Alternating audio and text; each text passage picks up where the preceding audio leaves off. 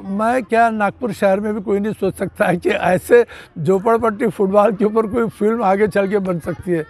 मैंने भी नहीं सोचा। लेकिन आज के दिन में केवल मेरे को नहीं, लेकिन हमारे नागपुर शहर के जितने भी रहवासी हैं, जितने स्पोर्ट्समैन हैं, ये सबके लिए एक ये आश्चर्य करने वाला और आनंद का क्षण है। सोच रहे हो ना? कौन है ये शख्स? तो ये है विजय बारस।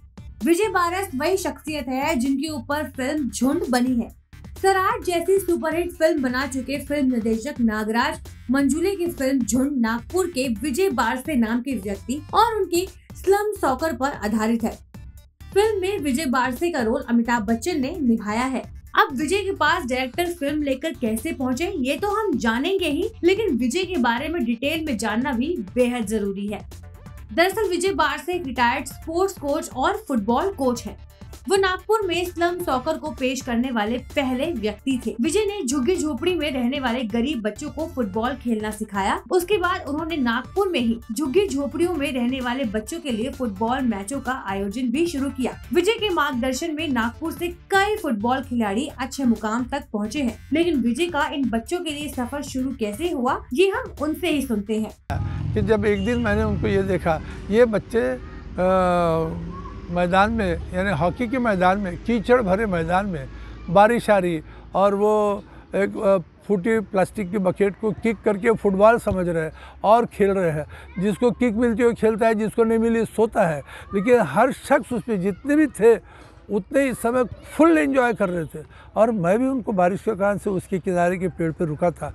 तो मैं भी देख रहा था कुछ कुछ मेरे अंदर भी पासन हो रहा था। मैं सोचता सोच रहा था, ये बच्चे जब इतनी देर तक यहाँ पर है, इनमें से किसी ने कोई खर्रा नहीं खाया, शराब नहीं पी, सिगरेट नहीं पी, चोरी करने नहीं गए पिक पॉकेटिंग करने नहीं गए तो मेरे को ऐसे लग रहा था कि अगर सही में इनको, ये प्लास्टिक की फूटी बकेट को फुटबॉल समझ रहे हैं, मैं इनको अगर सही में फुटबॉल दे दूँ तो ये फुटबॉल के बहाने से ज़्यादा देर मेरे पास में रहेगी वैसे कहना पड़ेगा कि विजय की सोच काफ़ी अच्छी थी, लेकिन आपको बता दें कि विजय की शुरुआत के पीछे एक सोच थी, एक मिशन था।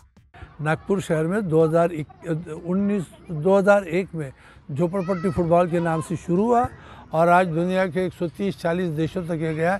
इसलिए कि ये एक मिशन है कि मैं फुटबॉल के द्वारा ये झोपड़पट्टी में रहने वाले अंडर प्रिविलेज बच्चों की कैरेक्टर में चेंज कर सकता हूँ।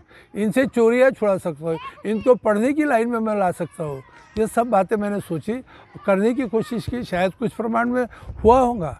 एक चीज़ तो ज़रूर है, ये कोई किसी ने मेरे ऊपर थोपा हुआ मिशन नहीं है, मेरे को किसी को रिपोर्टिंग करना नहीं है।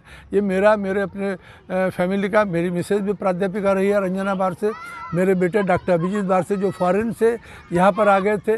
ये हमारा मिशन है। और इसलिए जब हमारा मिशन होता है तो इसको हम अपने ढंग से पूर्ण करते हैं। और मुझे गर्व है कि हम इस मिशन पे सक्सेसफुल रहे। और ये सक्सेस ही है कि जो आज आप हमारे तक पहुँचे हैं। चलिए विजय के बारे में तो हमने काफ़ी बातें जान ली। अब जानते हैं कि फ़िल्म के डायरेक्टर उन तक कैसे पहुँचे। दरअसल फ़िल्म के लिए निर्देशक नागराज मंजुले नागपुर के विजय बारसे से जब मिले थे, उन्होंने तभी सोच लिया था कि इस फ़िल्म में विजय जैसे ऊँचे कद के व्यक्ति को ही फ़िल्म में लीड रोल में लेंगे और फिर ऐसे अमिताभ बच्चन लीड रोल में आए।